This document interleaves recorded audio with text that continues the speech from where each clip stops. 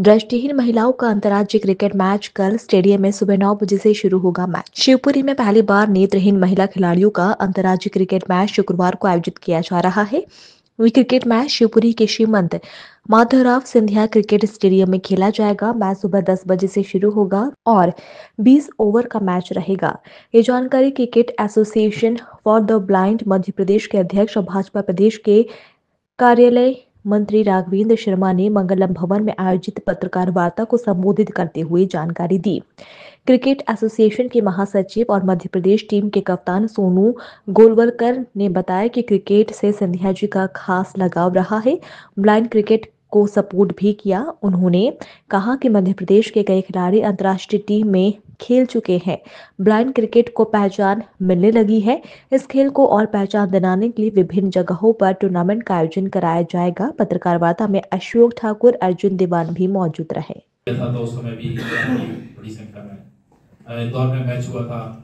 और मुझे लगता है शिवपुरी का जो मैच होने वाला है सोनू भाई, वो अभी तक की ब्लाइंड क्रिकेट के इतिहास का सबसे अच्छा मैच होने वाला है। मुझे ऐसा लगता है कि जितना समर्थन और जितना सहयोग मीडिया के माध्यम से हम लोग देखते हैं जितना शिवपुरी में मिला है मिलेगा उतना शायद ही और कहीं मिले क्योंकि शिवपुरी खेल प्रेमियों की धरती है और शिवपुरी एक ऐसी धरती है कि यहाँ से उत्साह है और सबका बढ़ता है। तो ये मैच एक बहुत विशेष होने वाला है। राजस्थान और मध्य प्रदेश के बीच में मैच होगा। तो में राजस्थान के बीच होगा? हाँ। आज फाइनल में है तो राजस्थान और मध्य प्रदेश के बीच होगा। और मध्य प्रदेश की टीम बहुत मज़बूत है आपको बड़ा आनंद आएगा। और ताली बजाते हुए आप थक जाएँगे, वो लोग चौका और छक्के मारते हुए नहीं थक तो नहीं थकेंगे। बस इसमें आप लोग जानते हैं कि ये बॉल है, आप लोगों ने, सब लोगों ने देखी होगी, इस बॉल के अंदर ये घुघरू होते हैं। इस घुघरू के अंदर का बॉल फेंकी जाती है खेली जाती है। ये बॉल अंडर आर्म फेंकी जाती है। बॉल की स्पीड सौ, एक सौ दस, एक सौ पंद्रह तक जाती है, जो कि नॉर्मल क्रिकेट में जाती है। ग्राउंड वही होता है। बाकी तरीके वही होते हैं, केवल ये बॉल आधी पिच से रोल की जाती है। अंडर आर्म फेंकने की वजह से, इसलिए आवाज़ पे खेलते हैं। इसमें तीन कैटेगरी के खिलाड़ी होते हैं। बी खिलाड़ी होते हैं, जो हंड्रेड परसेंट ब्लाइंड है। बी टू खिलाड़ी होता है, जिसको बहुत थोड़ा सा ऐसे मैं कहूँ टकराएगा नहीं, उसको दीवार समझ में आ जाती है। लोभ जिसको बोलते हैं। पढ़ तो नहीं पाता, लेकिन वो दीवार में टकराएगा नहीं। वो यहाँ से उसको समझ में आएगा कि हाँ दरवाज़ा है यहाँ। ऐसे तीन तरह के खिलाड़ी खेलेंगे।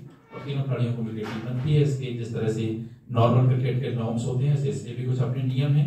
एक वर्ल्ड ब्लाइंड क्रिकेट एसोसिएशन है, जिसमें हमारा पंद्रह देश खेलते हैं।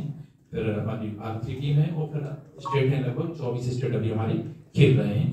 हम लोगों ने पिछले पाँच साल पहले वुमेन टीम बनाई थी और उस वुमेन टीम बहुत अच्छी है।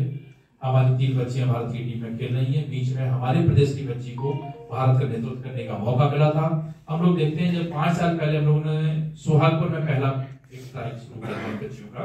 जब उनको बॉल भी समझ नहीं आती थी साइड से निकल गई नाई से निकल गई माई से निकल गई बॉल भी पहली बार हाथ में ली थी। अब वो बच्चियाँ लंदन में और कई देशों में खेल करके आई तो देख करके बड़ी खुशी होती है। और, जो हमारा उत्साह है, उस उत्साह में शिवपुरी एक और बड़ा एक मील का पत्थर साबित होगा। इतना ही मुझे कहना आप सबको इस वक्त मैं तो कोई प्रश्न पूछना हूँ, आदरणीय सोनू जी हम उसका जवाब